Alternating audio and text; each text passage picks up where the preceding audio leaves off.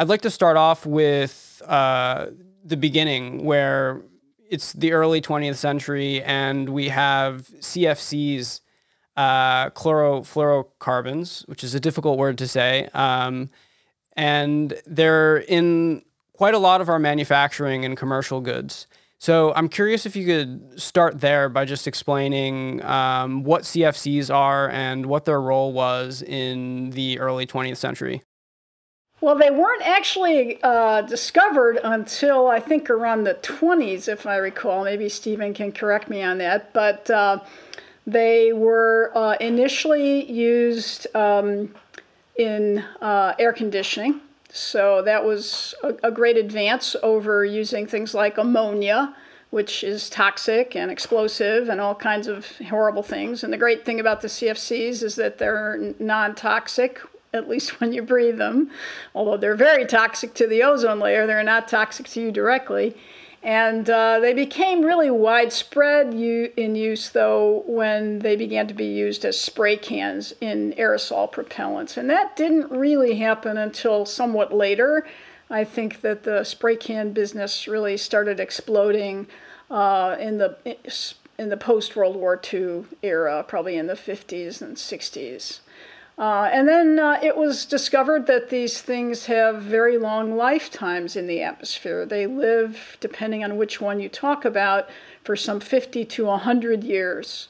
So that is just staggering because what it means is that every year, whatever we put in, almost all of it will still be there the next year. And it'll just pile up and pile up and pile up. So initially, a few people who worked on it thought, hey, this is great. It's a terrific tracer for atmospheric motion. How cool is that?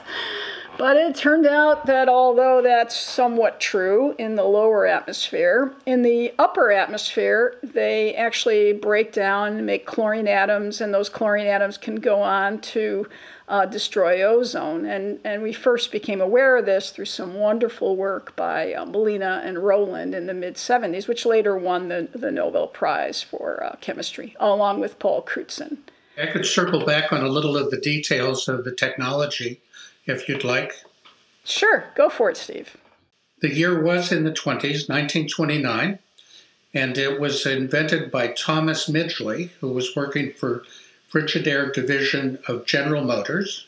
And just as uh, Susan said, this was viewed as a, a wonder chemical because uh, the chemicals at that time were things like methylene chloride and ammonia and even gasoline as a refrigerant. So it was very dangerous. There were lots of injuries. Uh, by that time, America's waters were polluted, so it was difficult to use ice from ponds. And so it was immediately commercialized to replace these flammable and toxic refrigerants. And then, just as Susan said, uh, the companies that produced it slowly looked at other markets.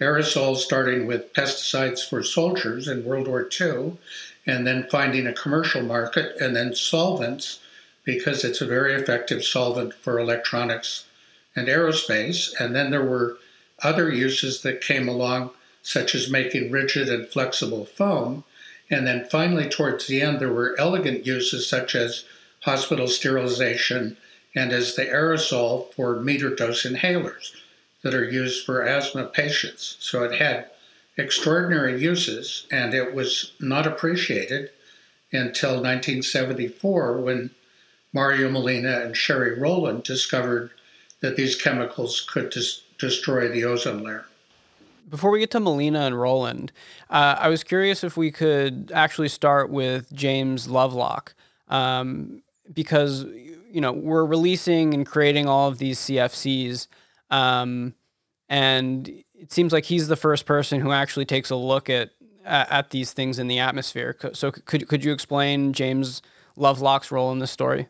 Sure. He invented the gas chromatograph and made a lot of money off of it and became independently wealthy because it's a very useful instrument for measuring all kinds of things. And he took it on a, uh, he was British, and he took it on a British research vessel and sailed from the northern hemisphere down to almost the Antarctic and showed that uh, he could understand exactly what the distribution of the CFC that he was measuring uh, was based on the amount that had been uh, emitted and he said, Oh, isn't that cool? It's a great tracer for atmospheric motion, as I mentioned before. So, um, and in fact, I, am pretty sure in, in his paper there is some kind of sentence like this couldn't ever conceivably pose any hazard because it's so non toxic.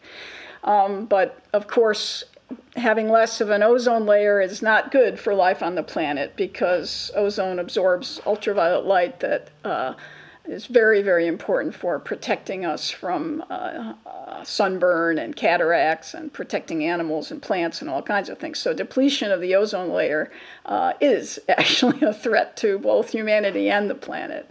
I do want to say it wasn't until somewhat later, 1985, when scientists from the British Antarctic Survey actually discovered the ozone hole. And uh, what they were doing was measuring total ozone in the Antarctic. They'd been doing it since the 1950s, and they were able to show that sometime around the late 70s it started dropping like a rock. Way more ozone depletion than Molina and Rowland had ever imagined.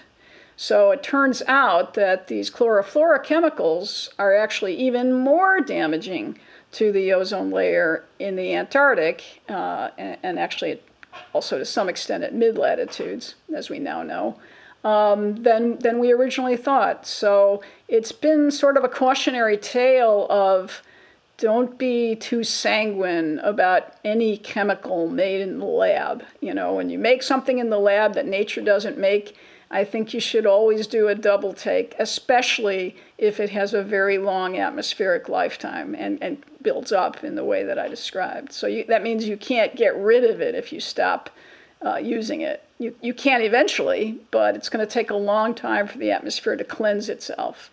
Could you explain why why James uh, Lovelock was initially interested in in CFCs and you know what his investigation led to scientifically? As far as I know, he really just wanted to um, see what their distribution was like to get some sort of a handle on uh, what they might be, what his instrument might be useful for. I don't actually know of a use beyond that. Do you, Stephen?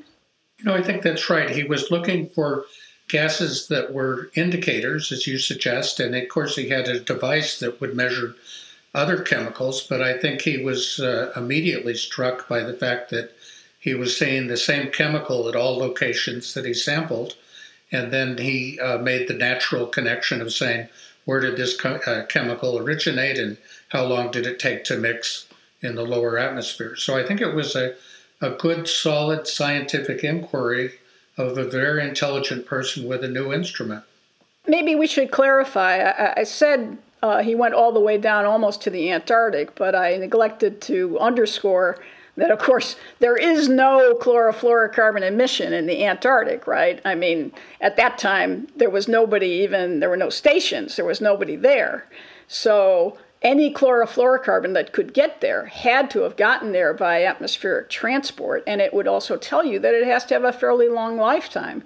Because, you know, if you emit, um, oh, let's just say sulfur dioxide from a power plant, in the Ohio Valley. Yeah, I mean it's a serious issue. It can cause it can cause acid rain. It can cause little particles that are bad for your lungs. It does a lot of bad things, but it's not going to be found in the Antarctic. It you know it, it just doesn't have that long of a lifetime. It rains out. So this proved that they were a great tracer. In his mind, I think that's that's what he was attracted by. We're in this world where CFCs are basically being used for a ton of different applications. Um, our current understanding at that time was that they were non-reactive and non-toxic. So basically, a, a wonder a wonder chemical that could be used for all sorts of things and was much safer than the kinds of chemicals that we were using at the same time. Uh, and here comes uh, James Lovelock, who, um, from my reading, it seemed like he first got interested in it because his view from his house was hazy and he didn't know why it was hazy, and he wanted to figure out if it like if it were uh, uh, man-made chem- chemicals or you know what this pollution that was obscuring his vision was. Um, and so he starts measuring all these CFCs everywhere, um, and now we're in a world where it seems very clear that that CFCs are abundant in the the lower atmosphere. So let's start to pivot into um, Mario Molina and Frank Rowland's role in this story and how we begin to move from noticing that there are so many CFCs in the atmosphere to finding out that there might be a problem. Well, I will say that uh, Dr. Rowland has passed away, unfortunately. Uh, so has Molina more recently. But uh, he never went by Frank. He went by Sherry. His name was indeed F. Sher- Sherwood Rowland, but he was known to everyone as Sherry Rowland. So go ahead, Steve. Do you want to take this one? Yeah, sure. The, the story of it is is actually a, another great science story. Mario Molina had finished his doctor's degree at University of California, Berkeley, and had taken a postdoctorate study with Sherry Rowland at University of California, Irvine, and they looked at four or five interesting topics. And I think that the the history is that Molina saw this one as being particularly intriguing, even though it was slightly outside either of their expertise. So it was a stretch for them, but it gave them a chance to look at something that could be potentially uh, very important. And then the story is that as they began to investigate, it started to seem more and more obvious to them. And it became uh, a rush uh, for conclusion because they were worried about the effect of their work. Uh, there's one story that uh, Sherry Rowland tells that he was he came home from work one day, and his wife Joan asked, "How did your day go? How is your work?" And he replied something like, "Well, the work is fantastic, but I think the Earth is ending." So it was uh, you can imagine uh, the tension, the creative tension, and then they published their article in I think in April of 1974 and there was no uptake by the press. There was no scientific uh, confirmation. It was a quiet time until that fall, the Natural Resources Defense Council, NRDC, saw this, the scientists there, and recognized this was a big public policy issue. So at the American Chemical Society fall meeting, they had a presentation by Molina and Rowland. And then, by the best of good luck of ruthless corporate behavior, the industry attacked them and made the scientific study newsworthy. So this was a tremendous good fortune, oddly enough, because then all the press was asking, what are you talking about? Why is it important? And what could happen? And that cultivated in Molina and Rowland the ambition, and, and uh, Sherry Rowland called for a ban on aerosol cosmetic products, hairspray, and deodorants. And so this was stepping out of the role of a normal scientist and becoming an activist. And of course, there was a boycott uh, that was quite spectacularly successful in the United States, and then some product bans. And I, actually, I just want to say, I think we should be proud in the U.S. that there was uh, a consumer boycott. I mean, people turned away from spray cans. And that actually, interestingly enough, did not happen in Europe uh, they kept using them. So we we can look back on that time as one in which people were uh, environmentally very aware in this country. Uh, not just on uh, the issue of uh, the ozone layer, but but also for things like photo, you know, like smog uh, and, and uh, clean water. All those issues had attracted a lot of attention right around this time. I, I will uh, also say that it's interesting that the at the time of the Molina and Rowland work, they were talking about the fact that from the best of our understanding of the day, in a hundred years we might see a few percent decrease in the total amount of ozone. So kind of a small effect far in the future, kind of like the way some people used to talk about climate change until maybe this year or the last few. And uh, um, the Antarctic ozone hole was a huge wake up call because what they found uh, was that ozone had dropped by more than 30% over Antarctica already by 1985, something that no one had anticipated. So it was a huge shock to the science community.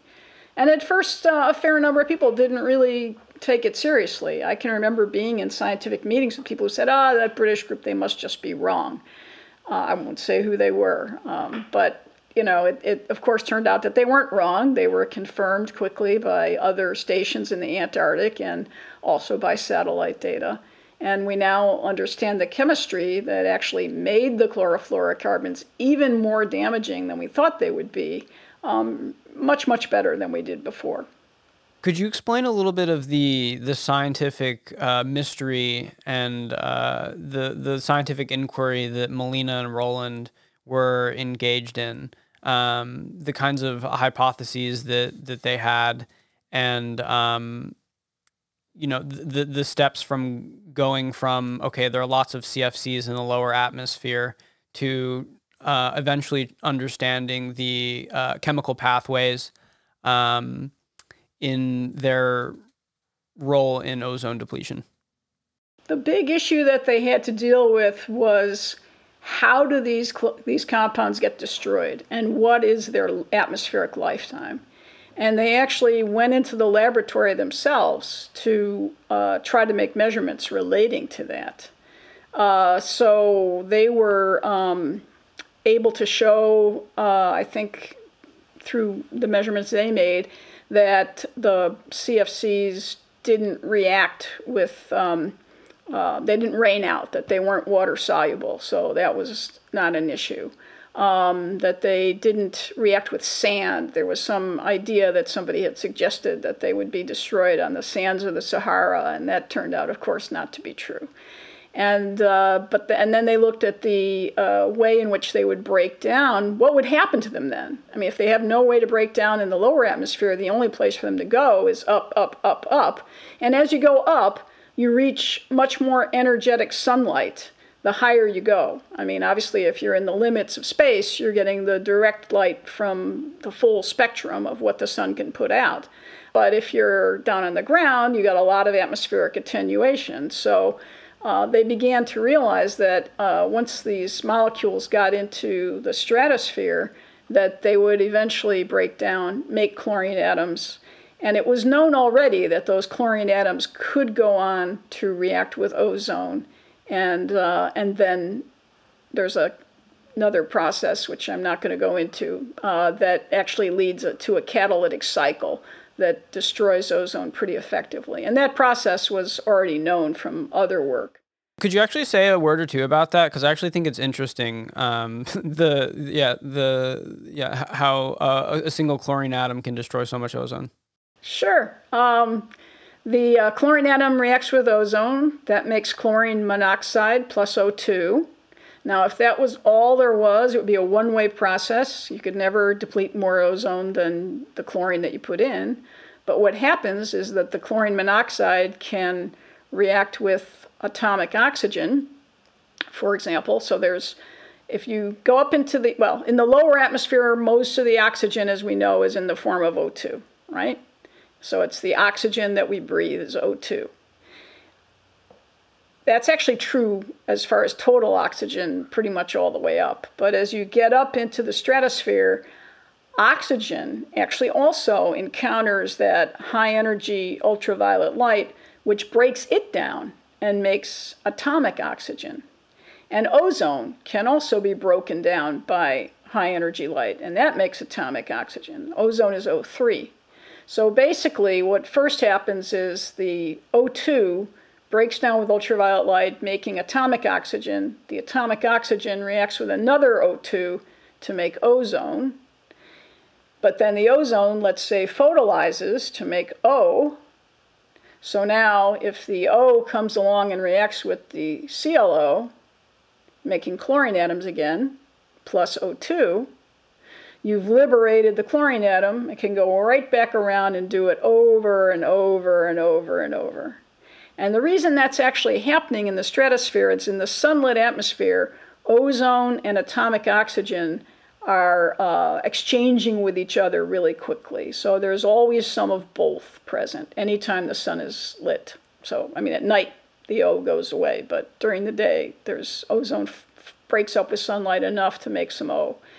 So you can just drive this catalytic cycle over and over again, and you can destroy hundreds of thousands of uh, ozone molecules with one chlorine molecule, um, chlorine atom from a CFC molecule um, in the time scale that the stuff is in the stratosphere. Right, and so I think the the little bit of information about that is that the is the chloro uh, in the chlorofluorocarbon meaning that means chlorine, right? So there's these chlorine atoms that are getting chopped off of them, and then once they're free in the atmosphere, they can uh, be used to basically slice many ozone molecules. And the ozone molecules are heavier and more dense, and so reflect more UV light. No, no, no, no, no. Density has and heaviness has nothing to do with it. Uh, the ozone molecule is just capable of absorbing certain wavelengths of ultraviolet light that no other molecule can in our atmosphere to any appreciable extent. That's why it's so important to life on the planet's surface. It's just a really good light absorber at certain wavelengths. Okay. And so um, at this point, um, for Mario Molina and sorry, it's Sherry Rowland. Yes. And so, so for both of them, this is still um, uh, theoretical or like model based work, right? It hasn't there hasn't been any empirical verification of this. That's right.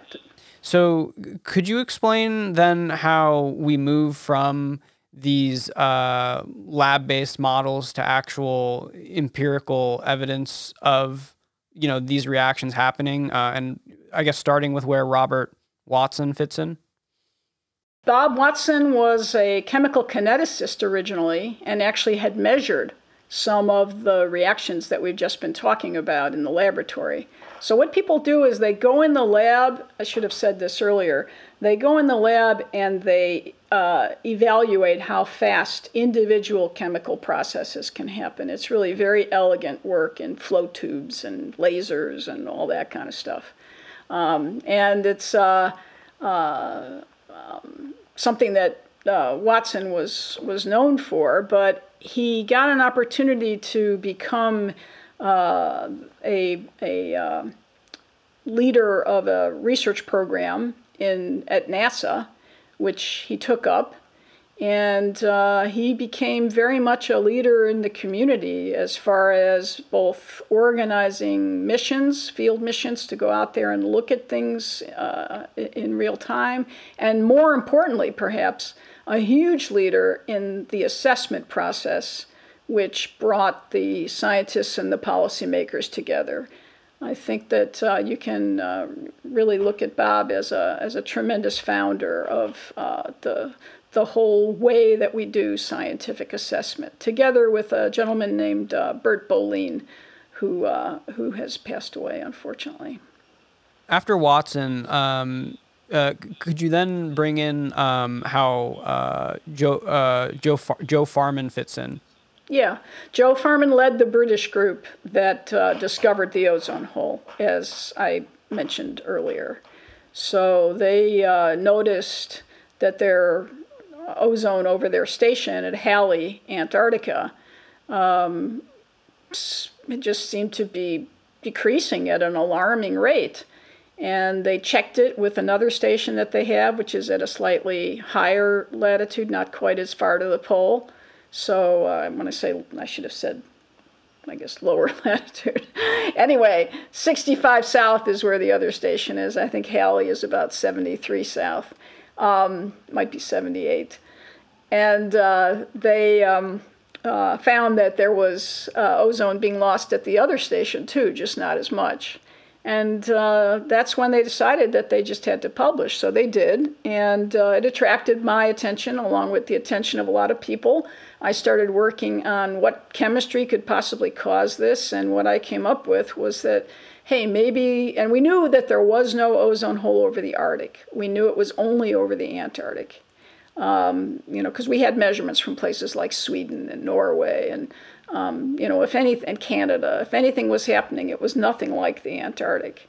Uh, so measurements in other places showed ups and downs, you know, variability from year to year, but they weren't showing any kind of trend at that point. They later did. We can talk about that, but we're talking 1985 here, so really early.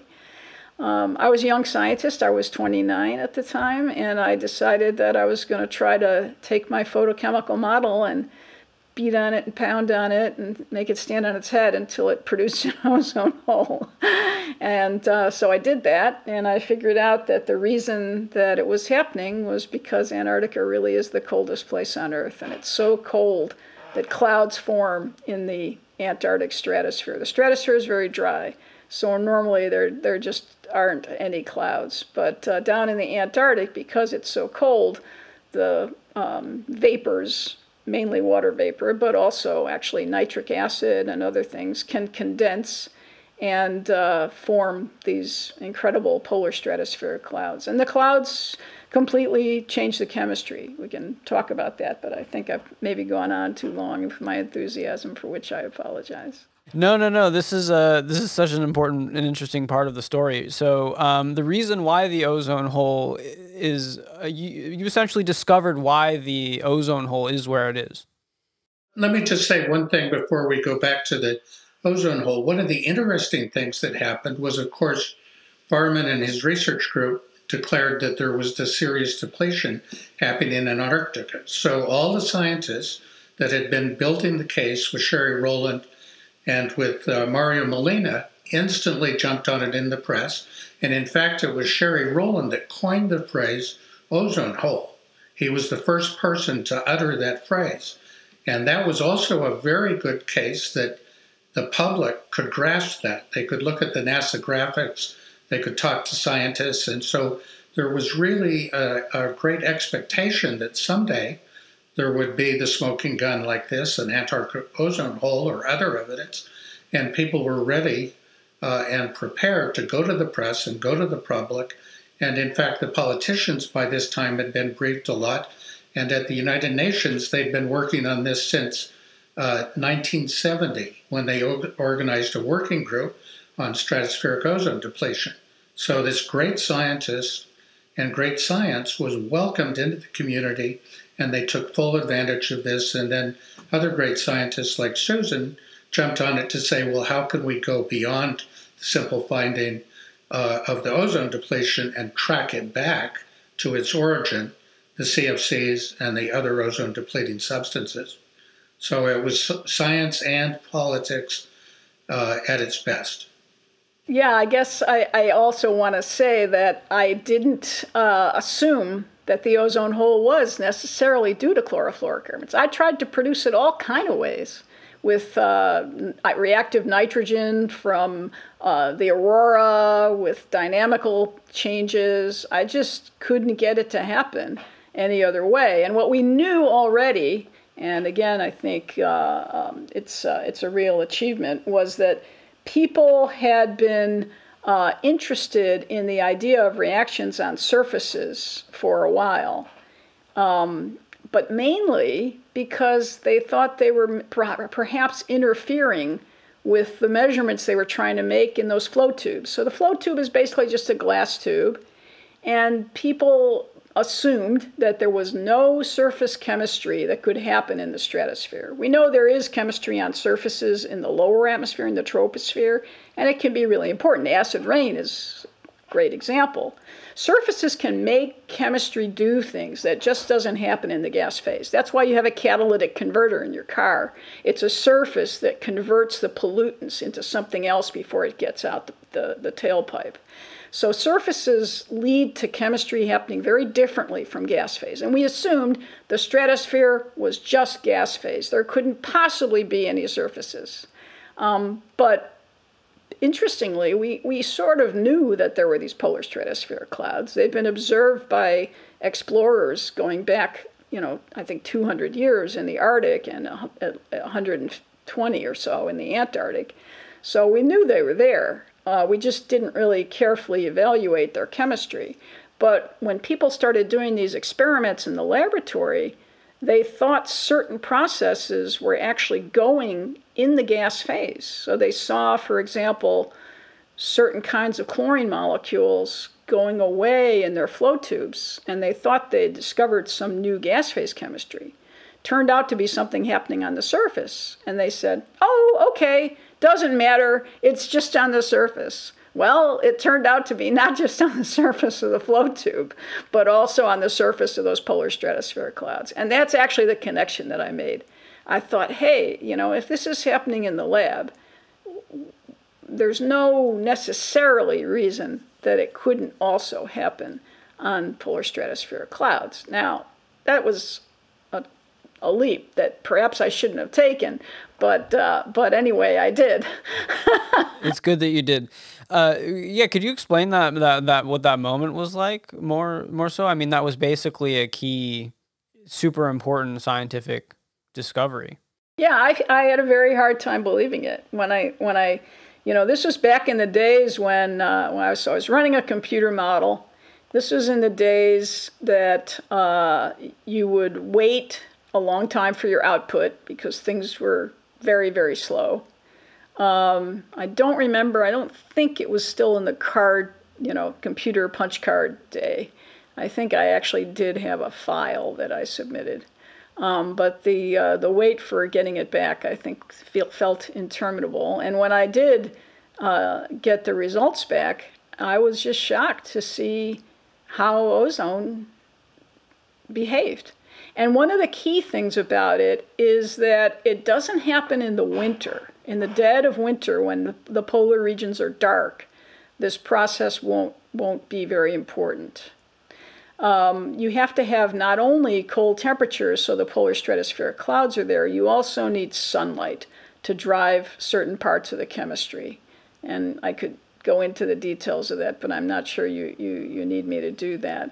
It's, uh, it's a process then that occurs in the Antarctic spring as it comes out of its long period of dark, cold winter. It's still cold, but the sun starts coming back, and that's the combination that then drives the ozone depletion. And that, that began to start happening in my model. So I was pretty shocked. It wasn't quite for the right reason, I have to admit. The process that I had driving that, that final step of what I did identify correctly was that the key reaction is the hydrochloric acid and chlorine nitrate from the chlorofluorocarbons react together on the surface of the polar stratospheric clouds. They do not react in the gas phase. we, we thought maybe they did it one time, but then we figured out it was just on the surface of the flow tube, so we forgot about it. Everybody, except until I remembered. And, uh, and then uh, um, the hydrochloric acid and chlorine nitrate react on the surface of those clouds. That makes molecular chlorine, Cl2, which photolyzes, breaks apart very readily with sunlight. That makes chlorine atoms, and now you're off and running to produce ozone depletion. So that part I, I had all correct. What I thought was that the uh, chlorine monoxide might react with HO2 to close the catalytic cycle. Because uh, you don't have much atomic oxygen in the lower stratosphere where the ozone hole was happening. You need to close that catalytic cycle we were talking about earlier with something else. It turned out that really the key thing is CLO reacting with itself to make something called a CLO dimer, which then photolyzes. Um, but we didn't actually know that chemistry yet. We learned about it not too long after. That was discovered in 87. I see. So, um, so essentially, there are these these uh, glass tubes in labs uh, where uh, you know the scientists at the time were trying to um, basically create atmospheric conditions in order to experimentally test uh, the models that they were generating for what happens to ozone up in the atmosphere. And because it's a glass tube, there are you know surface. There's, there's a lot of surface on it, and so they were d- discounting uh, you know what they were observing in that glass tube because they were saying you know the the upper atmosphere doesn't have any surfaces. So any surface related reactions don't really make any sense. Right. That's basically it. So, you know, you were looking at that and you just, you, what was it like? Uh, what made you think that maybe there were surfaces in the sky? Well, I mean, we knew that polar stratospheric clouds could happen in, in the in the Antarctic and also in the Arctic. That that that was, like I said, people have visually you can see them. I've seen them myself. They're they're they're clouds. They're actually very beautiful. They're they look like they're they're almost a rainbowy kind of appearance because the particles are uh, almost all one size, and that creates a, uh, a particular kind of beauty when the sun hits it. Um, but yeah, I mean, you can see them. They've been seen, literally. Um, there were also satellite data, and uh, that had been published a couple years earlier. That helped to inspire me to think about it. But I, I actually knew about the uh, explorers. Um, I was just intrigued by that kind of stuff. Um, so then um, I was very excited to work with Bob Watson when we formulated a mission to go to the Antarctic and to actually go down there and make measurements that might help to determine whether reactions like that were, hap- were indeed happening. And that happened in 1986.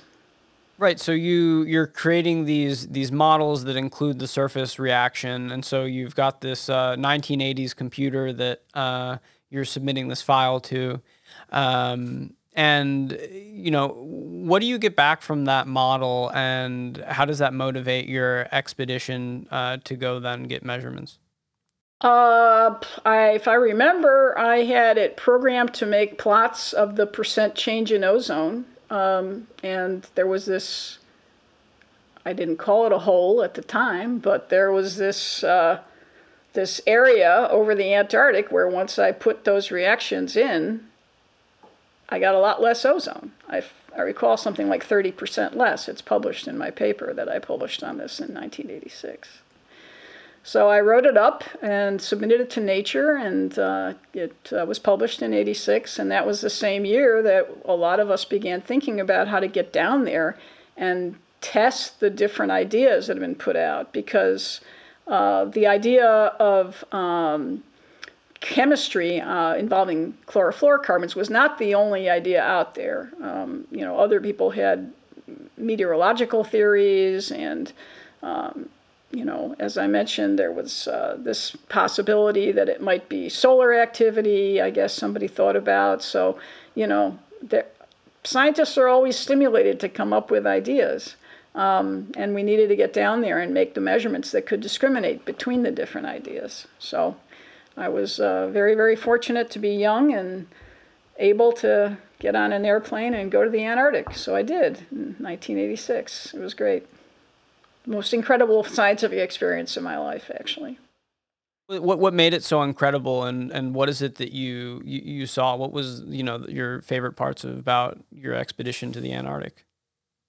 Well, just going to the Antarctic is an unbelievable experience. I mean, you know, even if you just go on a cruise ship, it's uh, it's it's like another planet. You know, it is crystalline, beautiful, unpolluted, uh, uh full of uh, optical effects that are are just amazing, uh, and of course brutally, brutally cold. Uh, we went down in uh, August of 1986. When I got off the plane, the temperature was about minus 40 degrees Celsius, which is also minus 40 degrees Fahrenheit. So I like to joke that if you're ever on Jeopardy and the final Jeopardy question is at what temperature are Celsius and Fahrenheit the same, the answer is minus 40. Um, but it was uh, it was you know it, it, it I, I have been I'm originally from Chicago. I've been in cold weather. Um, but I've never been in anything colder than I think about minus 15 before. And uh, it was, uh, it's a shocker. But after a while, after a couple of weeks, minus, uh, 15 actually feels very warm. You really do. It's amazing how you acclimatize um, everybody laughs. Stephen's laughing as I'm saying this, but it's true. It's true, really. I, I thought I would just kind of curl up in my room the whole time, but I, I didn't. I, I found that it was easy to acclimatize. The t-shirt um, weather. Yeah, really. Well, actually, people do. People actually even go jogging at uh, with with minus shorts 15? on at, at minus 15. Yeah. Wow. Yeah. Yeah, it's incredible. Um, depends on if it's sunny or not. It, the atmosphere is very dry also down in the Antarctic. Um, basically, the cold has wrung all the vapor out of the air. Did, did you go jogging so, in your in your shorts and no, t-shirt at minus 15? No, no, I didn't do that. But I certainly remember feeling warm at minus 15 and, you know, like opening up my jacket and stuff like that. And I definitely kept my window open if it was minus 15. So, um, yeah, I did. I did. Um, but um, I made some measurements with my colleagues uh, using um, visible spectroscopy. So we used the sun or the moon or the sky as a light source, and we measured uh, chlorine dioxide, which is a closely related molecule to chlorine monoxide, and we were able to show, particularly with the moonlight measurements, that the values we found were, you know, a hundred times more than they should have been. We we couldn't measure them anywhere else because they were below our detection limit, but they were actually quite measurable in the Antarctic. So that was the key measurement that, that we made, and it was an incredible night, the night that we actually did that. And then I think it was the next day that I made the uh, data analysis, and there it was. It was uh, it was an amazing, amazing moment. Could you explain more about how that, that that particular data that you measured fit into the analysis and and what it proved and you know the feelings and experience of what it was like to finally have an answer? First of all, there's the getting of the data, which involves uh, putting mirrors up on the roof of a little building in the Antarctic and uh, directing the moonlight right down into the instrument. And uh, doing that when it's cold and windy can be a bit of a challenge. So, setting it up for measurement is uh, physically challenging. Um, and uh, then, uh, you know, taking the data, um, analyzing the data. Uh, I, I was, uh, I think, careful enough to realize that that wasn't going to be the only thing it would take to convince everyone that chlorine was the cause of the ozone hole. Uh, the chlorine had to have come, the chlorine dioxide that we measured had to have come from the chlorofluorocarbons. There was no other even conceivable source for it. And it was a hundred times more of it than there should have been. And that's because it had gotten the, the, the reactive species, and chlorine dioxide is a, is a reactive form of chlorine, had gotten liberated from unreactive forms of chlorine like hydrochloric acid and chlorine nitrate which reacted on the surfaces of those clouds, and they don't do that anywhere else. So that's a little more detail than I thought you might have wanted, but, but that's why. You take these, what we call reservoir species for chlorine, hydrochloric acid and chlorine nitrate, and you convert them to active chlorine, and now you're really off and running for ozone depletion. And that's what happens on those clouds you're getting this this this data about these particular chemical molecules and then so you're the, the you know t- tell me a little bit more about the the actual analysis and you know what it's like being in the antarctic feeling like you've you know you've discovered why there is a potentially world ending hole. Well i will tell you this. I i was really careful i think. Maybe stephen can correct me if he thinks i'm wrong but I was pretty careful about not broadcasting the news before we were really, really sure. So the moon measurements alone were not enough to convince me. Uh, and one of the things that actually excited me a lot was when we realized we could also see this in the uh, scattered sunlight that we got. If the sun was low enough on the horizon, there was even enough chlorine dioxide to measure it then.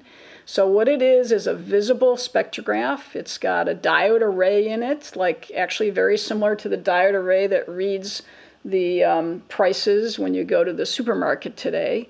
Back in the 80s, those were incredibly expensive because they had just been invented. Um, and we had one that was cooled to very cold temperatures to keep it from having too much noise in it. And we direct we had a spectrograph, which you can think of as being sort of like a prism that you shine sunlight through and you separate out the wavelengths of light or the colors of light come out as a you know as a little rainbow that you see when you when you put a, a crystal in front of a, a, a source of light. And so that's essentially what we're doing. We're putting a, uh, a grating in this case a diffraction grating uh, in the beam of the moonlight, and we're collecting the separated wavelengths of light on our detector, and we're looking for the absorption of atmospheric chemicals. And we can measure ozone that way, we can measure nitrogen dioxide at a different wavelength, but chlorine dioxide has a particular band structure in the visible that is what we measured. And we can also see it. The fact that we could also see it in the skylight and that the difference between the skylight and the moonlight was consistent with what we expected from chemistry and consistent with what you would need to deplete the ozone layer. Got me pretty excited. Um, there was another group on our expedition that measured chlorine monoxide using a different method, a microwave emission technique, which is the same one that's used nowadays by satellite. Uh, but in those days, it was only used from the ground.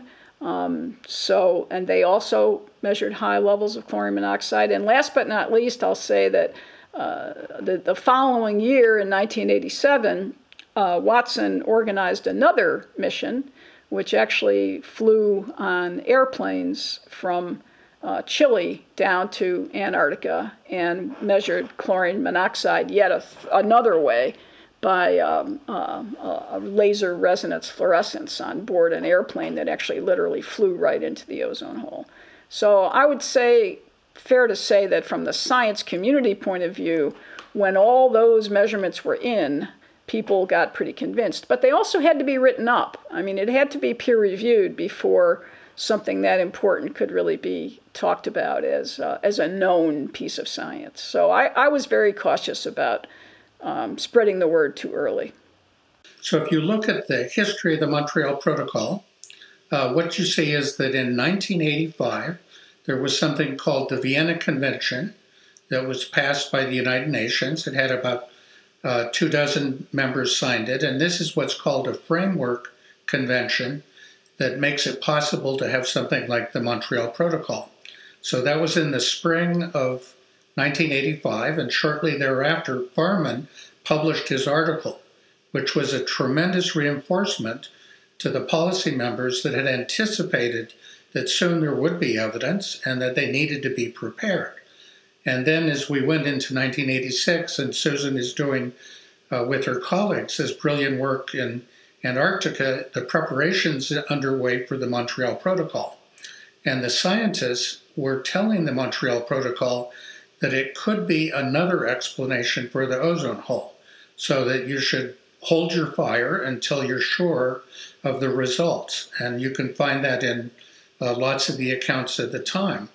But by uh, the time of the meeting, September of 1987, there was still a lot of uncertainty. But the policy makers were able to talk to their national scientists and others and felt confident enough to go ahead and, and confirm the Montreal Protocol. So I would view it from my point of view and perspective that it was a continuous improvement in the science, and the threshold of belief occurred for different people at different times. Uh, but uh, you could then say, of course, there were still skeptics in 1987, but it was my experience that they were mostly gone by 1990. And so the work I was doing, mostly with corporations, there was uh, rarely a meeting where there would be science skeptics after 1990, that they were gone from the earth, it's moved on to climate, in fact. So, so it was a tremendous contribution of science. And the other thing that's important to realize is the industry that used these chemicals uh, was not devoted to them. They'd been reassured by DuPont and others that they were completely safe and that there was no reason to worry. And then, as soon as the Antarctozono came along, they panicked and they rushed to the market to find alternatives. And that's one of the reasons the Montreal Protocol happened so fast. Is the industry, in some ways, was faster to grasp the science than even the policymakers. Stephen, I'd love to bring you in. Uh, I'd love to bring you in here uh, to to describe the, um, in particular, you know, the transition from uh, the discovery the that Susan was involved in um, to the to the Montreal Protocol. So, you know, w- what are the steps between the discovery and the Montreal Protocol, um, and how do we eventually get to um, the technology and economic assessment panel? Uh, that you co-founded. I'm glad to describe that. Uh, it's exactly what what Susan said is that there's a laborious process to prove the science, and then there's another process to communicate it. And that's par- par- partly what Susan did, and Bob Watson, and another scientist, uh, uh, Dan Albritton. And they were masters of communication, and there were lots of meetings held between the scientists and the diplomats, but also the scientists and the companies, including uh, the National Academy of Engineering did its own review of the science on behalf of industry and came up with a confirmation report, I would call it. No new science, a narrow view of science, but nonetheless, it was the message coming from the people they most respected. And Sherry Rowland was involved in that and many, many others.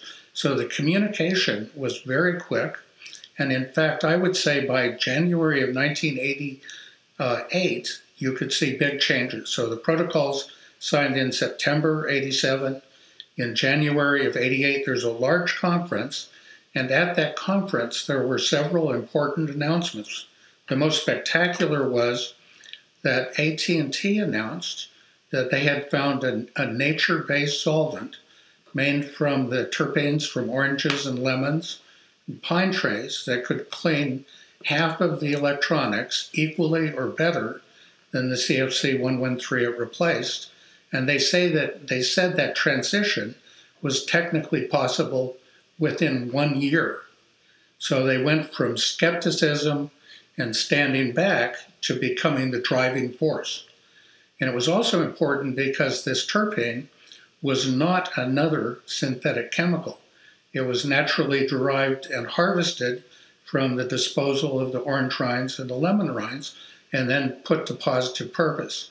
So this was an eye opener to a lot of people that thought you had to have an elaborate chemical to have an elegant solution.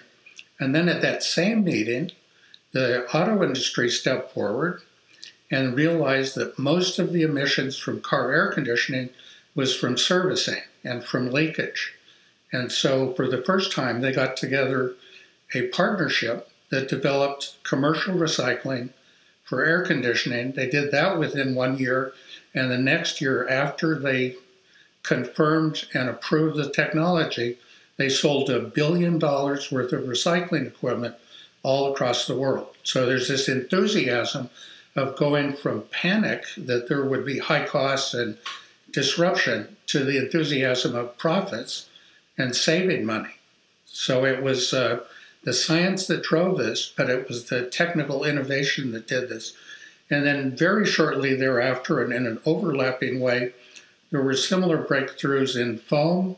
There was a commitment by the American Food Packaging Institute uh, to halt the use of CFCs in foam within one year and to switch away from all fluorinated gases as quickly as possible. So we see this building momentum and enthusiasm. You have international companies that are pledging to get out. And all the while, uh, we haven't reached the Montreal Protocol entering into force because that occurs later after the signing. And when it was signed, and the, the first big assessment, which Susan was involved in as well, uh, was done in 1989. Uh, and so this was an assessment that you alluded to. It included the scientific assessment panel.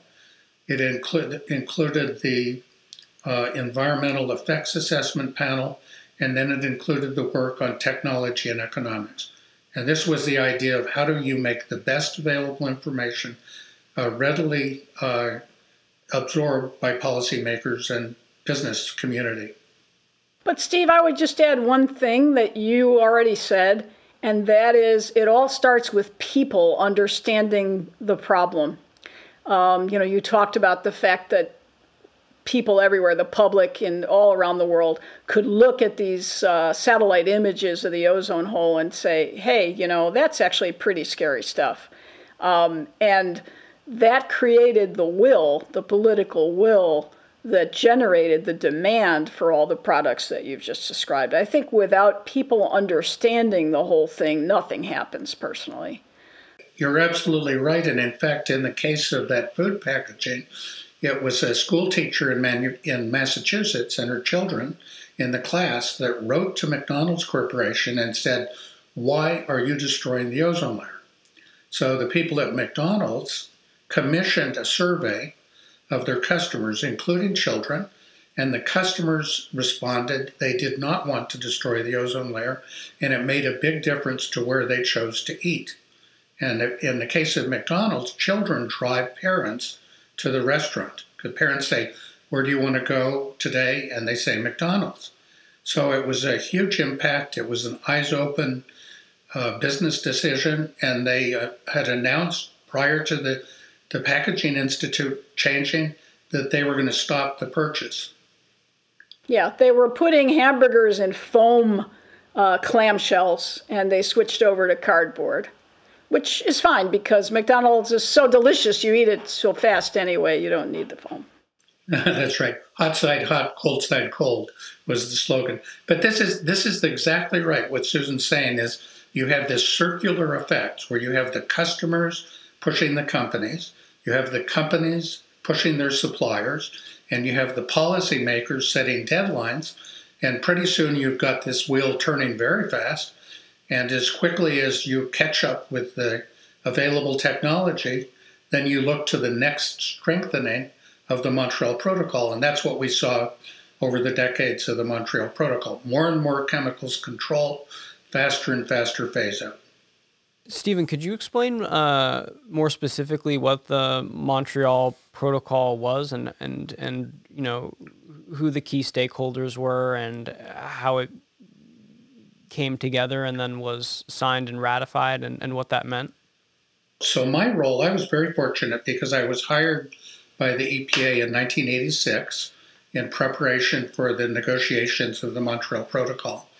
And uh, I'm an economist by training, and so I had the highest interest in showing that this was going to be cost effective and feasible and that the technology uh, would come together. The mastermind behind the Montreal Protocol was the head of the United Nations Environment Pro- Program, Dr. Mustafa Tolba, who was a botanist himself and an accomplished author, and I think was very quick at grasping this science. So you have the force of the United Nations organizing the meetings, and then you have the science that's providing the justification for the treaty, and then you have leadership countries that were advocates of a treaty, and that included a group that was called the Toronto Group because it was partly stationed in Toronto, but that was the United States, Canada, Norway, Denmark, uh, many other countries, uh, Sweden, uh, that got together as a group and helped craft the language that they could sell to other countries. And so it was a masterfully designed document in retrospect. And included in that document was the idea of start and strengthen. So if you look at it, it only was two chemicals, CFC, and then a fire extinguishing agent called halon. And then the first negotiation in 1987, it was just to freeze the production of halon, stop it from growing, and cut back CFCs 50%. But that was not hard to do because 30% was still aerosol and convenience cosmetic products. So it was a very conservative start.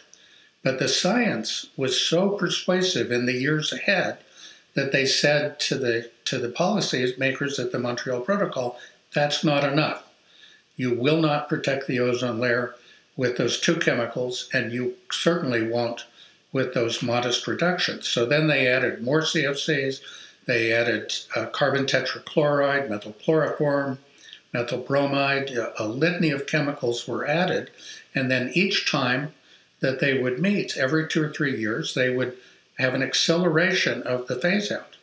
So it was a very practical approach uh, that was done on an international basis. And one of the beauties of this treaty is it includes incredibly strong trade restrictions, so that if a country did not join the Montreal Protocol, they would lose access to these ozone depleting substances even before the phase out.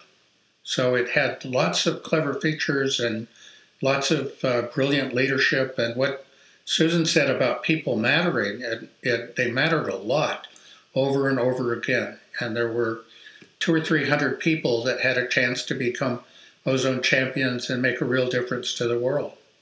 Could you could you explain who the who are the main stakeholders involved in the Montreal Protocol? So was this mostly uh, you know d- developed nations leading it, or that is a great question. That's a fantastic question, and explains a lot of why it was such a challenge.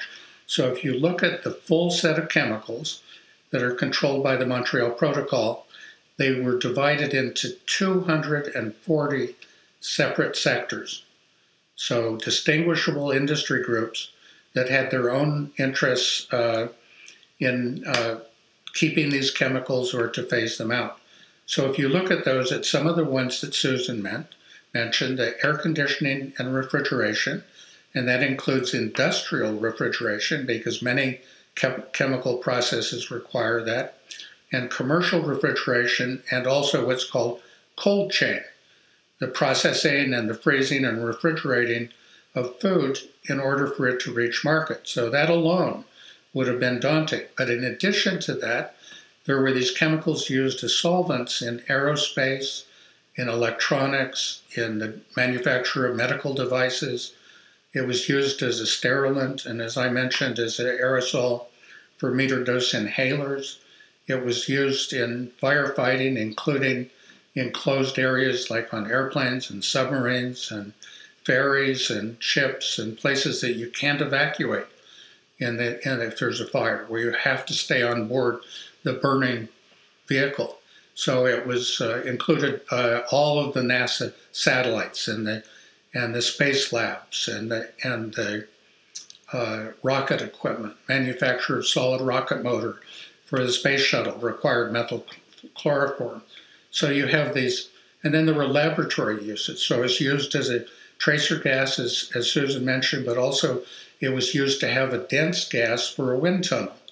And it was used for a pressure check testing of scientific instruments to make sure there were no leakages of gases in or out. So as it got going, also, it was discovered that every weapon system in every military organization depended on ozone depleting substances.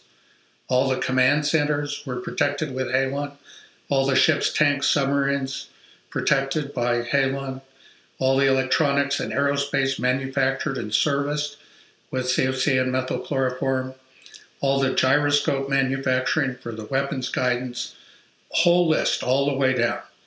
Uh, all the optical readers, all the AWACS, everything that they could look at had some use. And so it required these stakeholders to look fundamentally at the basis of what they were doing and decide how do you shift from using this chemical to a performance standard that would allow industry to compete as how they could produce an alternative that would be a pure replacement.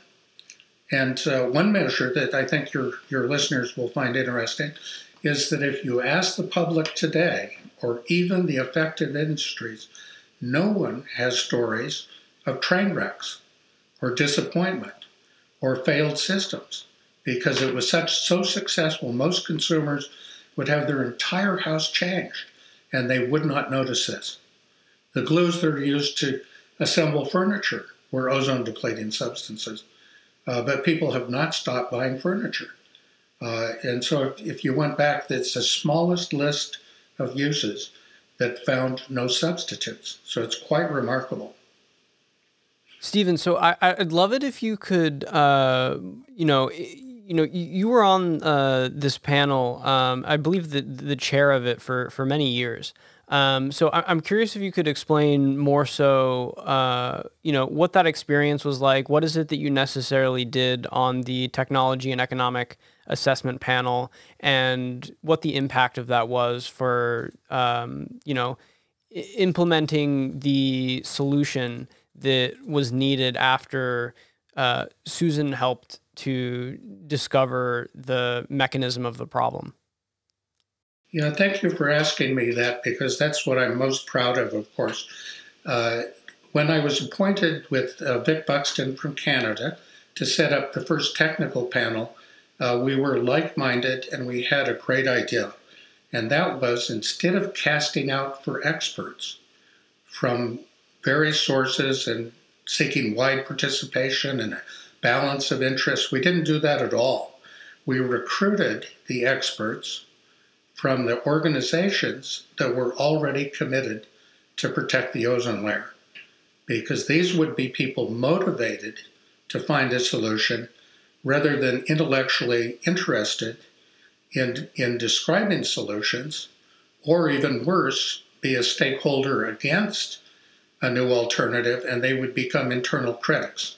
So the notion was that you, on a technical committee, you could not have a better set of people than the people whose success in their enterprise depends on finding alternatives and realize that a team could find the alternatives faster than others. The other secret of our success is we had something called self affecting technical solutions.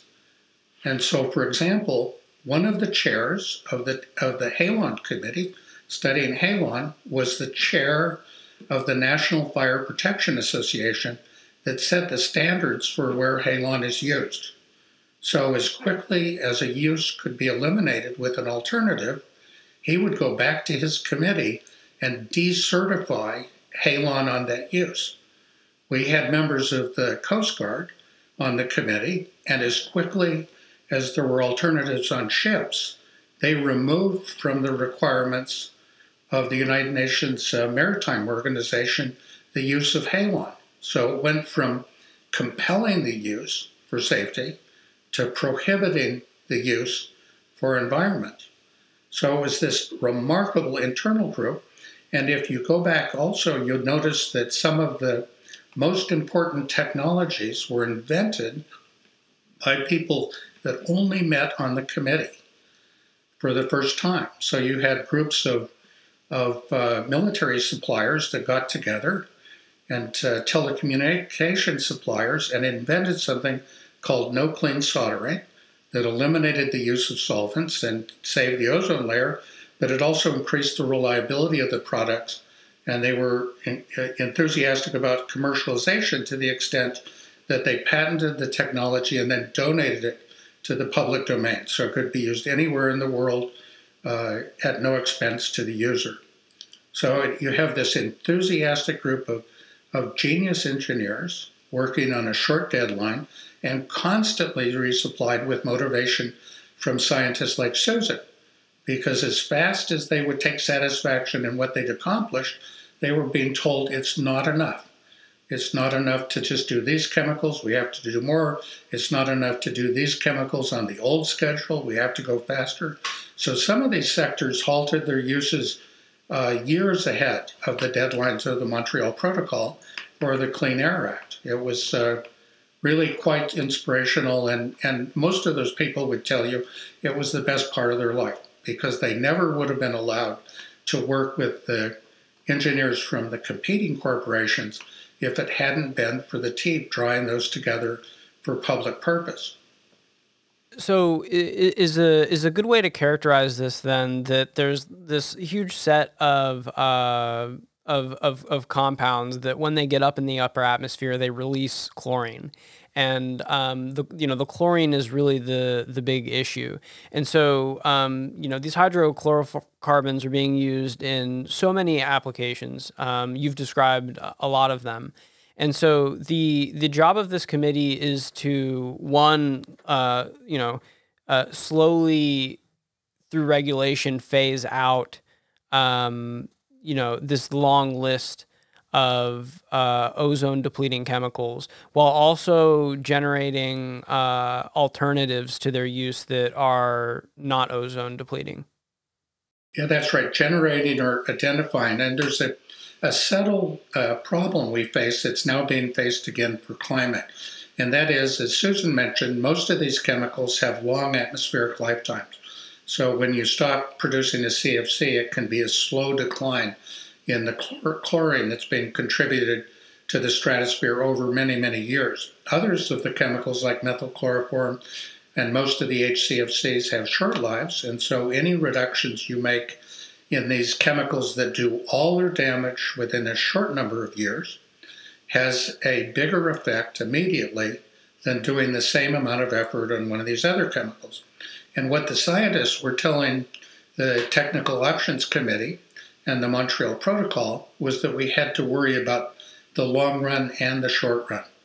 And so HCFCs as refrigerants and foam blowing agents were viewed as a transitional substance. So if you stopped using CFC 11 and you started using HCFC 22, that was an improvement in both the GWP and the forcing of, of uh, ozone depletion. And the same thing for methylchloroform. So the ambition in, of the Montreal Protocol was to work incredibly quickly to get rid of the short term chemicals and uses with an alternatives. That would be solvents, uh, for example, using methylchloroform, but at the same time allow some HCFCs so that you didn't have to endure the continued use of the CFCs. And that was that was the technical challenge to keep your eye on the long run and at the same time keep your eye on the short run. And some of the scientists uh, were all also over motivating that kind of ambition because there was a concern that we might go too far in sending chlorine and bromine, to the stratosphere and do irreparable damage or damage that would take much longer to solve. So, true or not, it was highly motivational and it caused a tremendous effort on our committees, uh, first of all, to get rid of methyl chloroform. If you look at the curve of methyl chloroform and the overall ozone uh, protection, it was a, a critical first step, and it was accomplished probably in two and a half years worldwide. So let me uh, toot Stephen's horn a little bit, and then also uh, clarify one one point. I mean, I think the the invention of the Technology and Economic Assessment Panel, TEAP as we call it, of the Montreal Protocol was a real masterstroke because it brought the uh, engineers and scientists from industry into the process to help figure out what could be done. And so the way the assessment process worked is on a systematic basis, the science group that I was part of would assess the science Steve's group would assess okay, the science says we got to phase these things out. What can we phase out? What, what is technically feasible? And we would provide these reports uh, along with the one from the impacts panel that would say, you know, if you keep doing this, you're going to have so many skin cancer cases a year by 2050 and stuff like that. All three of those reports would be explained to a group of policymakers in a UN meeting. So the uh, the decisions weren't actually made by Steve, but Steve's group was highly, highly influential in uh, educating the policymakers and guiding them really um, on what would make the most sense, what could be done the most cost effectively, the most quickly, et cetera, et cetera. And then they made the decisions. But um, the great thing about it is it, it, it's not a political group at all. It's we, you know, it's a in the old days we would call them a bunch of guys with slide rules, and you know that included the people who came from industry. They weren't the political leaders of those companies. They were they were the people in the trenches trying to actually figure out what to do instead, and and that's what made it work so well.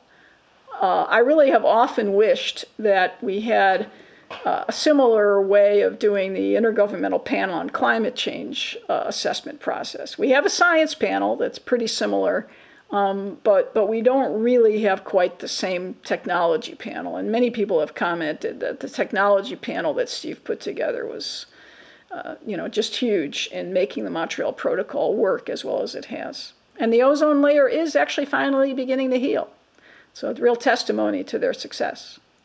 Yes, Stephen, please, I, I invite you to uh, toot your own horn a little bit more here because your contribution was, you know, extremely significant um, towards the t- towards the elimination of the the ozone hole. Um, I have a, a fun fact here uh, that I that is from a paper of yours. Um, the, so in 2007, um, Stephen, uh, you released a paper with Velders' uh, team published the importance of the Montreal Protocol in protecting climate. Um, and the team quantified the benefits of the Montreal Protocol and found that it helped present, uh, prevent 11 billion metric tons of CO2 equivalent emissions per year uh, and delayed the impacts of climate change by seven to 12 years. So, um, yeah, please, uh, you know, what are some of your favorite achievements? For, and, you know, this is something you're involved in for decades. Yeah, that's a, a, great story, and I'm, of course, very glad to tell it. Uh, one of the things people know about me that have worked with me for many years is I work by slogans a lot. So I try to reduce my ambition to something that's like a chant or a short uh, instruction I can give myself to move ahead. And after years of working with Susan and many other scientists and Mario Molina and Sherry Rowland and struggling with these issues year after year after year and waiting for the science to come on board and there'd be a missing link and there'd be something that was misinterpreted and we'd have to go back to square one. I came up with the slogan science too important to leave to chance.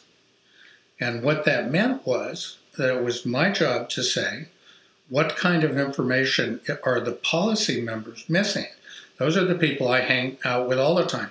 Because at the same time, I was the deputy director for stratospheric ozone protection at the EPA. I was the liaison to the Department of Defense on climate and ozone layer protection.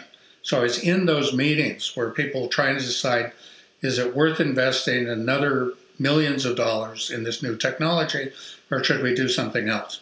So, uh, in working with Susan in 1995 on a joint report between the IPCC and the TEAP, I realized that the Montreal Protocol had done a lot for climate that wasn't well appreciated over at the Montreal Protocol, that these facts were available. So I put together what we called a dream team, which include uh, Guus Velders, who was the lead author, a brilliant scientist from the Netherlands.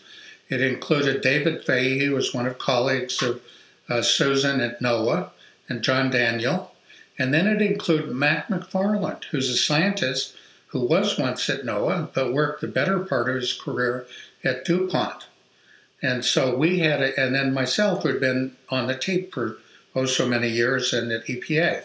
So the idea of the team was to say just how big was the contribution of the Montreal Protocol to protecting the climate, and how do we communicate that to the Montreal Protocol so they would consider that as part of their obligation and part of their legacy? Because we were coming up my concern, we were coming up to a very long interval of HCFC use, that the Montreal Protocol had plateaued its ambition and they had accomplished so much. They were resting on their laurels and they had lost this impulse to get more stringent. So this committee was put together. It quickly uh, put together all the facts, incredibly complicated at the time, although people have done work like this since confirming it. And this dream team came up with the conclusion that the Montreal Protocol had already accomplished more than the Kyoto Protocol could have accomplished if every party, every state government in the world had joined Kyoto and if all of them had met its obligations. So this was huge. I mean, it was shocking to us. It was shocking to the world. We brought it back the same year, 1997, uh, 97, excuse me, uh, 2007 to the Montreal Protocol, and that year they accelerated the HCFC phase down. So it was a, a, tremendous victory, and it was exactly what I, what I would hope would happen is if we assembled science in a new way that was headline news, that the policymakers would get the message and do something important. And then two years later, the same team decided, well, why don't we show the Montreal Protocol how important it could be if the chemicals that replaced 15% of the ozone depleting uh, chemicals, which are HFCs, were phased down under the Montreal Protocol. Ozone safe chemicals controlled by the Montreal Protocol. And that was accomplished in 2016. It took a decade. Uh, so, uh, but we're very proud of ourselves. And I think it's a perfect example of the advantage of a group of people with a wide set of skills working together, including somebody like me who's not an atmospheric scientist, working with atmospheric scientists and making more clear uh, what the policymakers need to know. I'd love to. I'd love to pivot in here now into you know extracting some of these lessons that you're sharing, Stephen, for um, how we might do better with modern uh, climate issues uh, from greenhouse gases um, and also other uh, global catastrophic risks. Um, but you, you know, I, I, think that's a you know, uh, you guys have done an excellent job of telling the story of the the science and the discovery, and then also the uh, strategic part and like the the solution making of um, the story of the ozone hole. Um, so as we get to the end of that, I'm curious if you have anything else you'd like to wrap up on about that story, or you know, what is a what is a key insight, or what is this whole when, you know when you look back at everything that you've you know you've contributed and been through, what is it that that stands out to you? You know, my theory of change, I think, is the same as Susan's. That people matter the most. That the ability to bring the right people together at the right place with the right instructions is bound to have an important conclusion. And one of the things that I always found was if you have the best engineers, no matter what their attitude, if they have the goal that is coincident of the environmental protection, they'll find a solution. So I think this accumulating of the science and the engineers and coordinating the activity, these assessment panels are just everything. That if you do that, you can't help but be successful. But the other thing that I'm realizing now is that you have, when you're in a hurry, like we are for climate, you have to take advantage of the existing institutions. So, as quickly as we added HFCs to the Montreal Protocol, I would like to add other chemicals. N2O, nitrous oxide, which is an ozone depleting greenhouse gas that was neglected by the Montreal Protocol. And then there's other gases like methane that have nothing to do with the sectors that are involved in the Montreal Protocol, but the framework of the Montreal Protocol might be perfect for a methane treaty. So you might have the Montreal Protocol people help design a methane treaty, or if the Montreal Protocol can find its way to create new capacity with new skill sets, you could have methane drawn into the Montreal Protocol because its genius is partly that you turn off the chemical at the source and force all the downstream changes to occur. And that's different than something like EPA, where you often find one part of the problem, uh, catalytic converters and gasoline, and you implement that. But you're not focusing on the big picture, which is electrification of the cars. And so there's there's this um, inherent advantage of the Montreal Protocol, top down, turn off the chemical, bring on the technical information, bring people together for solutions, uh, reinforce and reward. So uh, I could go on for the longest time. I'm very enthusiastic about the success of the Montreal Protocol. I absolutely believe the lessons could be taken up better than they have been. And I think if they were taken up, we'd be well on our way in many other environmental problems. Yeah, I like to uh, tell students in my classes, and I feel like I've learned this over the years with Montreal, and I've seen it in so many other problems as well, that there's three P's that determine how well we do on any environmental problem. The first one is personal. Is the issue personal to, to, to me, to us? Uh, and the, in the case of the ozone issue, it was deeply personal because skin cancer, I mean, you know, cancer doesn't get any more personal than cancer right? But but also all the other uh, attendant things that it can do. Um, the second P is perceptible. Is the issue perceptible to me? The best case is if I can see it with my own eyes, you know, like like smog. Um, but you know, seeing the satellite images that we talked about earlier, you know, that that was good enough uh, to to make it perceptible to a lot of people. And the third big P is: Are there practical solutions? And that's where Stephen's type of work has been so important. So when you think about climate change and you think about the three Ps, um, people haven't really considered it personal until pretty recently because it seemed like a future problem, not a today problem. And we can talk all we want to about, you know, caring about our grandchildren, but, you know, really what we care about is, is us, right? So um, and we do care about our grandchildren, of course we do, but not as much as we care about us. It's just a fact, I think. Uh, it's natural and normal. We don't need to be embarrassed about it. Uh, particularly when you're talking about a future problem, and you can always hope that there'll be other solutions in place by then. So, is it personal? For a long time, we thought it wasn't. Is it perceptible? for a long time, we didn't feel like it was. Nowadays, I would say more and more people are recognizing it as personal and perceptible. The kinds of things that have happened in the world this year have just been amazing in, in being wake up calls because so many places have flooded, so many places have had massive fire. These are all the sorts of issues that we knew were happening. So much erosion is going on because of rising sea levels. People are just, and actually, when people would say to me, well, it's not really perceptible yet, my answer to that would be, yeah, I know, and it's a problem, but you know, it's going to fix itself with time. And I think we're just about there. It has fixed itself. And then there's that big third P is are the solutions practical? And there's been a lot of propaganda, you know, out there saying they solutions are not practical. But I think we're reaching the point now where we recognize that they are. So I, I think that we're really at a turning point on climate change. I, would love to pivot here more into exploring uh, lessons to extract for, for what we can do about climate change uh, and other global catastrophic risks for you know the theory of change about what we might do about those. Uh, and I'm also mindful of the uh, the time here, so if we could hit on these a little bit faster, that would be be great.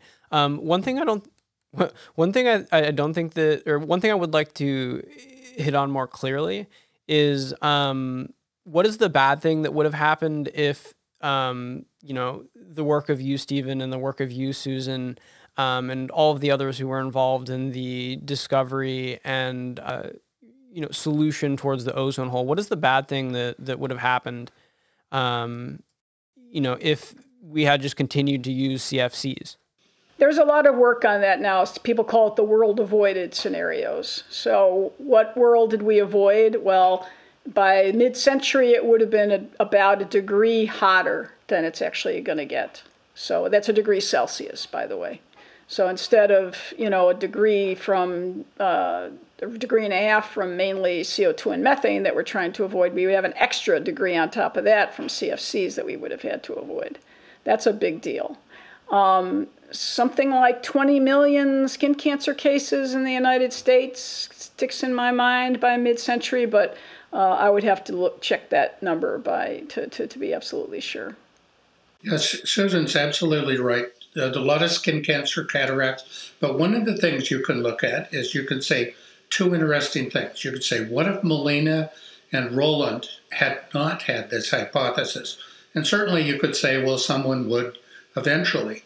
But if it had been five years later or 10 years later, it would have been catastrophic because it did take time, as Susan said.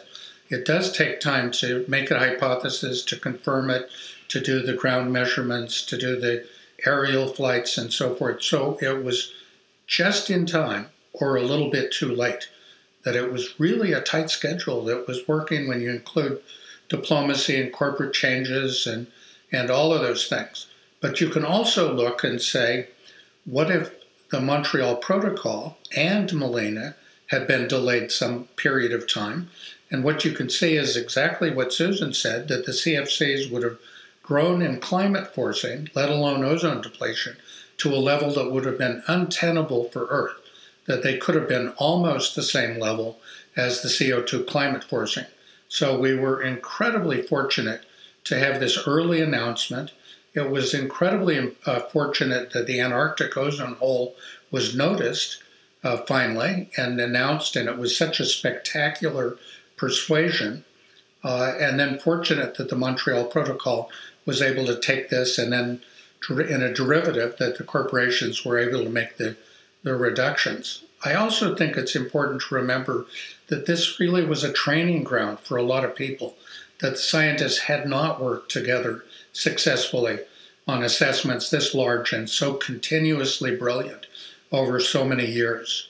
If you look back at each of the assessment panels, I find almost no valid criticism of any of the findings at any of the points in time.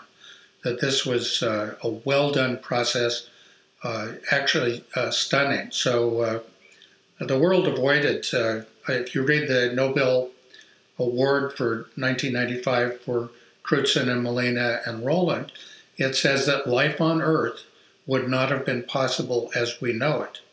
If you read Paul Newman's report, on World Avoided, you find out that it would have been untenable to go outside at most latitudes for very long without sun protection, far beyond what people wear when they go out today. So it would have been a lot of joy taken away, a lot of uh, misery, uh, misery brought on by uh, these medical effects, and it would be a less successful world because these technologies that replace the ozone depleting substances are purely superior, better energy efficiency, less toxic, more durable, more easy to repair and reliable. It's quite a success story. So let's um let let's explore um uh, you know the these these P's as uh as, as Susan has put it. Um, so we have the issue of of uh, greenhouse gases uh, warming the, the, the climate today, um, and a lot of you know what you were involved in, Stephen, was the economics of making transitions. So both um, the innovation required to um, replace HFCs, and then also the questions around that being economical. Um, so this is you know the importance also of uh, industry being involved in the in the process.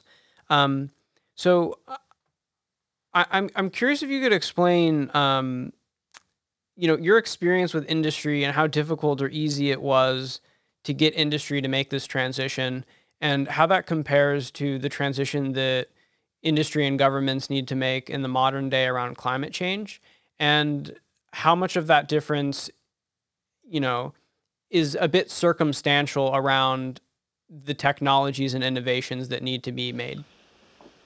Yeah, that's a great question. Susan, I, I think agree, and I agree that that some of the stakeholders on the climate side uh, were more persistently ruthless than we've experienced under the Montreal Protocol. The early days when Molina and Rowland came up with their announcement, it could not have been more ruthless character assassination.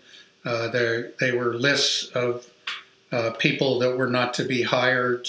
Uh, the regents of the University of California prohibited Sherry Rowland for applying to certain uh, organizations for funding and on and on. But if you look at what's been done by the coal companies and petroleum companies, I think that that was orders of magnitude worse over a longer period of time, including interjecting a lot of wrong science over and over again, which was a terrible distraction and also took a lot of energy away. So there's no doubt about the differences of the two. But what I have found out working on ozone layer is even sectors that have a bad reputation for other topics can be leaders on a topic uh, once motivated, as Susan Solomon says, and come to believe what they're doing. I'll give you an example. Uh, the automotive industry was among the most rigorous in getting rid of their solvent, their foam uses. Uh, foams in cars include what are called safety foams. So that under the dash of the car, originally it was underneath the surface of the fabric, it was all ozone depleting substances. It was all ozone depleting substances for the refrigerant, uh, for the solvent to make the components, for the electronics, and so forth. Uh, but they looked at the science, they got motivated, and they stopped using these chemicals as quickly as the other sectors. Uh, so they were one of the one of the fast to go. So what my lesson is is you shouldn't judge a book by the cover. You should not hold it against an, an institution because they misbehaved in the past, and you should give them a chance to make a new start on leadership right now. Uh, the other thing I would add is the public right now is much more engaged in climate than they ever were in ozone layer protection. So if you go back, there were very few of the industry projects that had active involvement of non-government organizations, environmentalists, uh, because it was being done so well by the companies themselves, that would have been a futile use of those talents. But you look today, there are thousands of organizations uh, that are demanding changes in industry. They're in the streets, they're protesting. Uh, this did not happen for the ozone layer. It was the smallest amount of activity. So there's uh, the difficulty of the fossil fuel industry, but it's offset by the ambition of the non government organizations and some of the governments. So uh, lots of things that are happening there. What would you add, Susan? Well, I think you summarized it pretty well. Uh, I think the other thing I would add is the engagement of young people today. Uh, they have been uh, exercised and have become uh, pretty upset about the future that they see themselves inheriting. Uh, Greta Thunberg has done a fantastic job, I think, of uh, mobilizing worldwide. I, in in a sense, the ability to get together on things like um, you know the tools that we now have with the internet have allowed that to become an international movement much more effectively than we could have ever done in the 80s for climate. No matter how concerned we were, you know, the telephone only worked so fast. So uh, you know, I think you see a public engagement on climate change that is driving a lot of, uh, of what's going on and having a huge influence. Is, is there anything that you, you know, is there anything that you both wish or would suggest as actions or, um, you know, things that are really important for the generation, you know, the generations that face climate change, you know, what it is that, um, they need to understand and do. I mean, we're talking about making things uh, practical, personal, and then is the last P perspective? Personal, perceptible, and practical. Yeah, um, and, and so there's still this. I mean, a large problem also beyond um, these issues, global catastrophic and existential risk issues, um, beyond making them personal. Um, and there is certainly difficulty around making action around them practical. Um, with the last P for perceptible, a, lot of people don't even agree about the science of climate change. Um, so I'm I'm wondering if there's any similarities between that and what you experienced with HFCs and what you suggest there is to do about that. I mean, because the, the climate issue has become politicized, certainly. Yeah, I mean, I, I would argue that it is becoming perceptible. I think most people uh, around the world have noticed that the summers are hotter than they used to be, that heat waves are more extreme than they used to be. So, uh, perceptible is not so much the problem anymore, I don't believe. Um, what what is the problem is the practical that they believe that it would cost too much and that it's not practical to do it um, that is increasingly becoming less and less tenable. Um, when it comes to power plants, for example, it is nowadays, if you're going to build a new one, it is cheaper to do it with solar and onshore wind than it is to do it with either coal or gas. And so, and, and nuclear, of course, too, are more expensive. So there has been a pivot in the power industry to uh, to, to renewables that's been very rapid. I think that uh, we, we need to put a lot more investment into that because it does take an upfront investment. It, it's true that when it came to some of the things we could do for the ozone layer, a lot of them were really uh, it, we were getting rid of things that we didn't have a deep investment with. I mean, you know, how invested are you with your can of spray deodorant in your medicine cabinet? Probably not very. You know, you can throw it away and, and or maybe you can even use it until it runs out and then go out and buy a roll-on, right? Um, but but probably a lot of people went out and just bought the roll-on because they figured it was a very good thing to do for the planet. But so, so this is indeed a lot tougher because of our investment in existing infrastructure, some of which is tremendously expensive. But I don't think there's any real barrier to making the transition. And as soon as those things become, as soon as the alternatives become cheap enough, they essentially pay for themselves because energy drives everything. So if we can make energy uh, more cheaply with solar and wind, then um, the uh, cost of, of doing absolutely anything that requires energy becomes automatically cheaper too.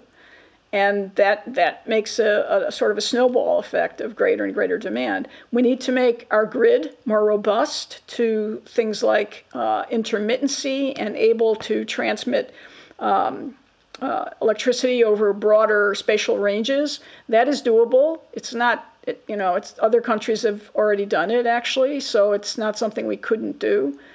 there's a, a lot of things that uh, that are beginning to really happen quite quickly, and I'm very optimistic. We, but we do need some real changes in our existing infrastructure. There's no doubt about it. Yeah. So there's two things I would add. Uh, yeah, the first thing is the United States is now behind the rest of the world on barrier removal. So in Europe, you can use technology that's been in the market for five years now absolutely proven safe and effective energy efficient that's prohibited by the US EPA for use in the United States. So they are a wall against new technology where they used to be a door. And so somebody has to get in there and motivate and get approval. Can you give an example? Example, uh, there's a refrigerant called HFC 32 that has a third of the uh, global warming potential. It has 20% higher energy efficiency. It's mildly flammable, but it hasn't been improved in the United States. Similarly, there are natural refrigerants that have not been improved. And if you look at the timeline, another example, which is, is easy to understand, is they approved years ago, a decade or more ago, a chemical that has a GWP of less than one to replace HFC 134A, which has a GWP of 1300. This was allowed for light trucks and cars, but the industry at that time did not apply for what's called highway trucks, the big trucks that move cargo, and off road vehicles like farm tractors and construction equipment, mining equipment, forestry. And that uh, the industry applied months and months ago to have this used on their equipment. There's no difference in using it on an off-road equipment or an on-road equipment or a big truck or a small truck because the cab of a big truck is about the same size as the interior of a car. But for some reason, the EPA has not finished that process, which is now way beyond the statutory limit of time. And they say it's because they just haven't had time to do it. Well, this is not acceptable. You have to have government moving at the pace of industry. And then the last thing, incredibly important, the United States military and military organizations all over the world were part of protecting the ozone layer. So far, that's not the case. If you look at inside at the documentation of military organizations, they say it's a, a force multiplier. It makes everything worse in national security. They say it's a it's an amplifier of conflict. There's tremendous concern about the displacement of populations and immigrants across borders and distractions from security because you have to do humanitarian relief. That's all in the documentation. But so far, all they do mostly is to do resiliency of their own facilities. So they're doing what they need to do to protect against the effects of climate change, but they haven't engaged yet in stopping climate change, which is much more cost effective. Uh, the last thing you want to do is let climate change happen and then try to run away and hide and build against it because that's brutally, brutally expensive. So I think those two things, if we were more aggressive on approving new technology, and if we had the military organizations involved as part of the skill set and part of the solutions and so forth, I think we'd go a long way. As, as a final question here, um, uh, so Stephen, your your panel, um, the technology and economic assessment panel, uh, was super successful in this strategic and coordination front on the technology and the replacement of the technology, which is something you we're also just exploring. Does the does the Paris Climate Accord have anything similar? And do you see a, a panel like this as being something also that's crucial for um, you know, the, the climate change crisis and also the you know the governance around other global catastrophic and existential risks. Yeah i think you're right. And susan and i have both tried over many years uh, to get the climate convention to do something like the TEAP. Uh, recently, I've realized that if you don't want to wait for the for the IPCC to do this, you could do it as a shadow TEAP and that it's very easy, I think, for an individual sector to organize itself under the same principles of being objective and including members that have the coincidence of interest in changing the market and changing the technology. You could put that together within an industry and then bring forward the solutions that you'd like to see implemented. And this is almost happening in Europe right now. because they're phasing down HFCs much faster than the United States, and they're doing it on a sector by sector basis, and they're involving the stakeholders. And the stakeholders have figured out that if they come to the EU with a single plan that cuts out their share of the goal, the, the European Union will approve that. If they come in with separate views and lots of disagreement, the EU will choose their own plan for them. So they have two choices do it their way or do it the government's way. And so far, they always choose to do it the practical, uh, cost effective uh, technology that they understand the best. And uh, it, it, that's exactly what the TEAP did. So I'm very enthusiastic about that model. And in fact, uh, that's where I, if I were in industry, that's where I would would put my money right now. Is I try to say, how do we become the leaders on this, so that these activists that can cause mayhem in our company would say, no use messing with that company that Susan and Steve runs. Let's go bother someone else. Uh, let's let them uh, solve their problems, and we'll go on to a recalcitrant tra- sector and uh, give them bloody hell. I think that's a very persuasive argument. All right, Stephen and Susan, uh, thank you so much for coming on. Uh, if you have any final words for the audience about climate change, the the ozone hole, and existential risk, um, here is a, a space for you to share it. Well, I hope we've given you some hope in this uh, in this period uh, of uh, of talking. I mean, uh, it's easy to become kind of despondent about climate change because you know terrible events keep making people suffer day after day. On the other hand, I really do believe there's light at the end of the tunnel. I think the ozone issue demonstrates that, and I think we we are on the road to getting to uh, to a solution. Yeah, I would just add to that that organizations like uh, Future of Life Institute are a tremendous part of the solution. I do believe that recognition and explanation and and uh, all of those things make a big difference to getting people motivated uh, to take on this very hard work. It's it's work you love when it's over, but it's always hard while you're doing it. So we have to have the highest motivation possible, and you folks are part of that solution. Well, thank you very much, Stephen and Susan, for for coming on the podcast, and also for your scientific and strategic coordinations to a, a global risk in the in in our lifetimes. Thank you, Lucas. Thank you very much.